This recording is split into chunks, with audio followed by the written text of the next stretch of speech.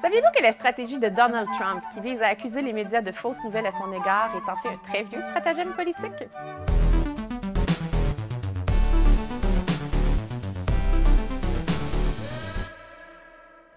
En effet, en 1675, le roi d'Angleterre, Charles II, émet une proclamation royale qui va faire scandale.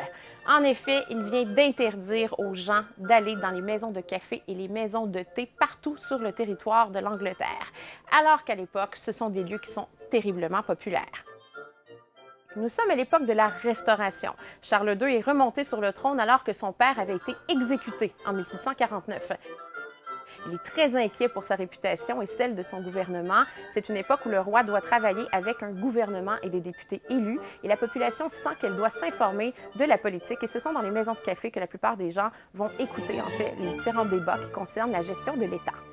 Craignant qu'il y ait beaucoup trop de fausses rumeurs à son égard et qu'il y ait beaucoup trop de ragots concernant son gouvernement et sa gestion de l'État, Charles II émet donc en 1675 cette proclamation qui vise à interdire la fréquentation des maisons de thé et des maisons de café afin que les fausses rumeurs cessent.